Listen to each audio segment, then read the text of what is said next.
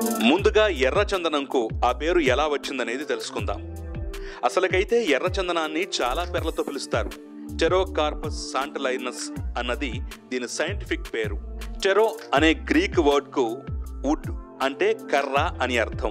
Corpus అంటే పండు. దాని కాయ చాలా గట్టిగా ఉంటుంది. సాధారణంగా ఇది మొలకెత్తదు. అది మొక్క రావాలంటే సంవత్సరం పడుతుంది. దీన్ని ఎర్రచందనం రక్తచందనం శాంతాలం ఎర్ర బంగారం అని కూడా అంటారు. ఇది ఫ్యాబేసీ వర్గానికి చెందిన మొక్క. దీని దుంగ ఎర్రగా ఉండటం వల్ల ఎర్ర చందనం అంటారు.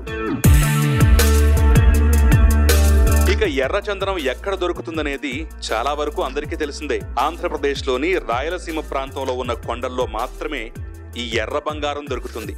ఈ కొండలు దాదాపు ఐదు పాయింట్ ఐదు లక్షల హెక్టార్లలో విస్తరించి ఉన్నాయి.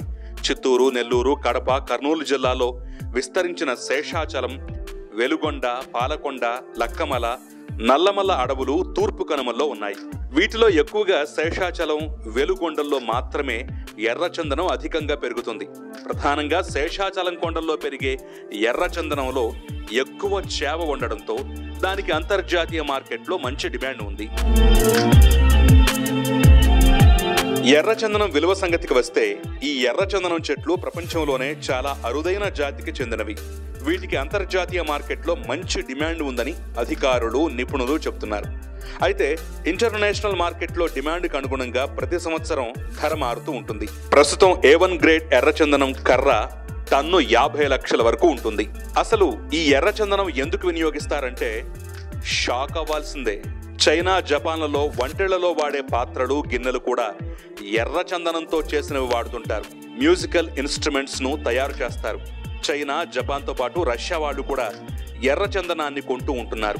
అందులో ఔషధ గుణాలు ఉంటాయి. వయాగ్రా కాస్మెటిక్స్ ఫేస్ క్రీమ్స్ లాంటి వాటిలో వీటిని వాడతారు.